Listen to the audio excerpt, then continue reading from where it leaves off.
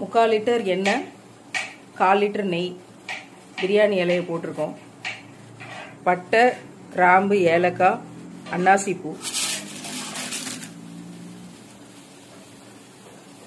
ரெண்டு கிலோ வெங்காயம்.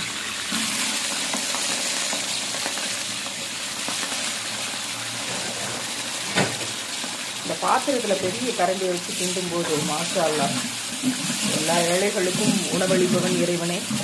உணவு சுவையான உணவாக வல்லரசமாக ஆக்கி தருவானாக. ஆமீன்.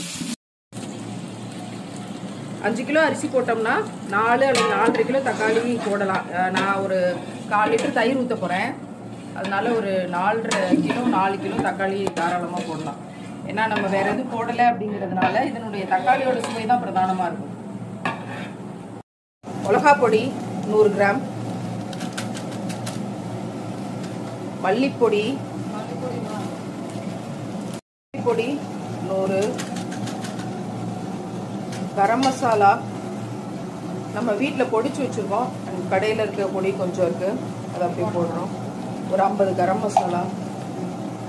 தேவையான அளவு உப்பு போட்டு நல்லா கிண்ட வேண்டியதுதான். இப்போ எல்லாத்தையும் நல்லா வந்து மிக்ஸ் பண்ணி கிண்டணும். இப்போ நம்ம இதில் ஒரு ஸ்பெஷல் இன்க்ரீடியன்ட் ஒன்று சேர்க்க போகிறோம் என்னென்னா நம்மக்கிட்ட வந்து ஒரு அரை கிலோவுக்கு மேலே பாதாமும் பிஸ்தாவும் இருந்துச்சு. அதை அப்படியே அரைச்சி பேஸ்ட் ஆக்கி வச்சுருக்கோம். தக்காளி கொஞ்சம் வந்து வெந்து தண்ணி வடியும் போது அந்த பேஸ்ட்டை போட்டு அப்படி கரண்டியோடய மூடுவோம் நம்மளோட நியத்தே வந்து ஆரோக்கியமான நல்ல புரோட்டீன் கண்டென்ட்டில் கொடுக்கணுங்கிறது தான் பாதாம் பிஸ்தா அரைச்சி வச்சுருக்கோம். கிட்டத்தட்ட ஒரு அரை கிலோ பக்கமாக அரைச்ச பேஸ்ட் பாதாம் பிஸ்தா. இது ஒரு சீக்ரெட் இன்க்ரீடியன்ட் இன்க்ரீடியன்ட் இது ஒரு ரகசிய பொருள்.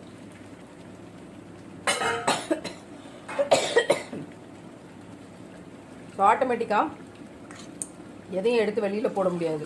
சில பேர் பொங்கல்லேருந்தே முந்திரி பருப்பை எடுத்து வெளியே வச்சுருவாங்க. ஸோ இப்போ எல்லாத்தையும் நம்ம அரைச்சி நல்லா சேர்த்துருக்கோம். மாஷா இப்போ இந்த இடத்துல ஒரு கால் லிட்டர் தயிரை வந்து நம்ம சேர்த்துக்க போகிறோம்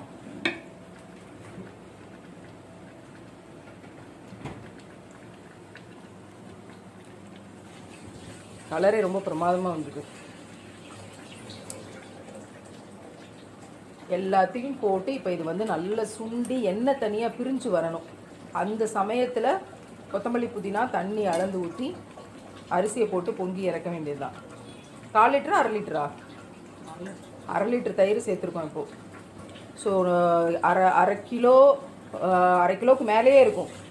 பாதாம் பிஸ்தா பேஸ்ட்டும் அரை லிட்டர் தயிரும் அஞ்சு நல்லா அஞ்சு கிலோ தக்காளியும் சேர்ந்து நல்ல ஒரு ஃப்ளேவர் வரும்.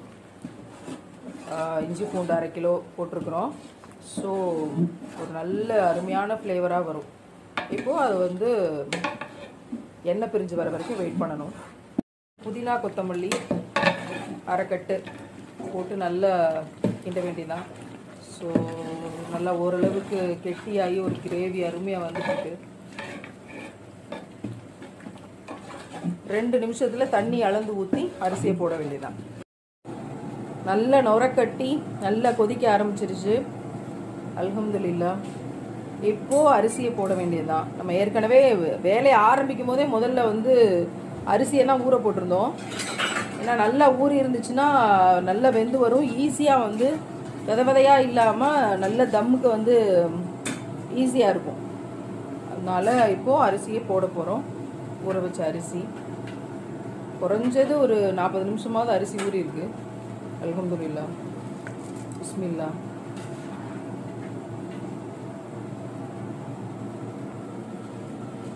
பிஸ்மில்லா. பறவைகள்லேருந்து படைக்கப்பட்ட அத்தனை உயிரினங்களுக்கும் அல்லாவே உணவளிப்பவன்.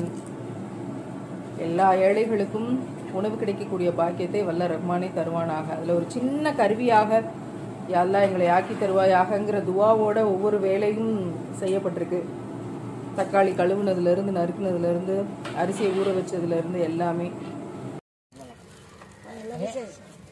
விசேஷம் கொடுக்குறோம் இது நேர்ந்துருந்தாங்க வேற ஒன்றும் சரிங்களா?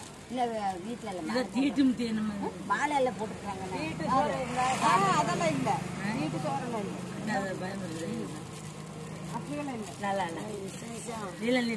அதான் அரேஞ்ச் பண்ணி இல்லை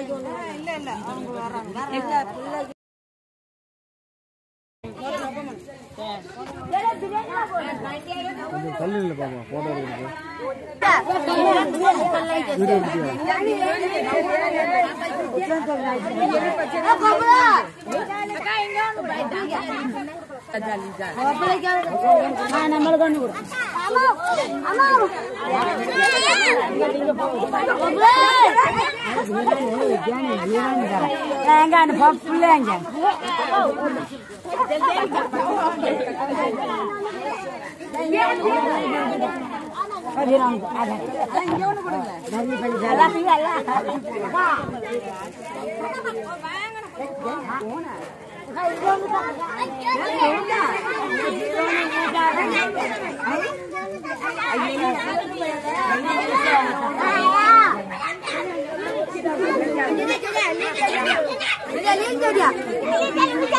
अंजलि